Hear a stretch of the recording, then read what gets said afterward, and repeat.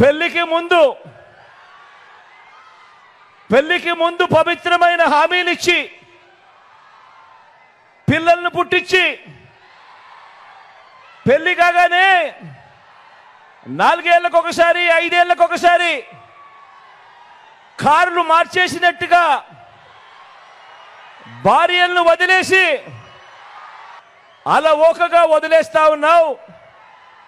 ఏం మనిషివయ్యా నువ్వు అని చెప్పి ఆయనను అడిగా. పవిత్రమైన సాంప్రదాయాన్ని నడి రోడ్డు మీదకి తీసుకురావడము ఆడవాళ్ళ జీవితాలను చులకనగా చూపించడము ఘోరమైన తప్పు కాదా అని అడుగుతా ఉన్నాను. ఇది నేను అడిగితే తప్పు అట.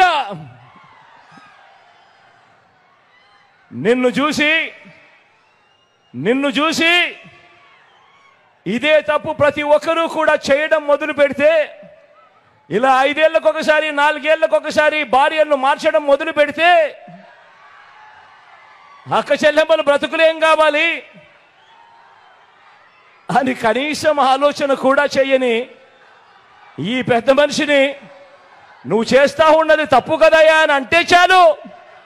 ఆ పెద్ద మనిషిలో కూడా బీపీ విపరీతంగా పెరిగిపోతుంది. ఇలా ఇలా ఇలా ఊగిపోతా ఉంటాడు. చేతులు ఊపేస్తాడు కాళ్ళు ఊపేస్తాడు తల ఊపేస్తాడు అన్ని ఊపేస్తాడు. ఆయన బీపీని అసలు తట్టుకోలేము.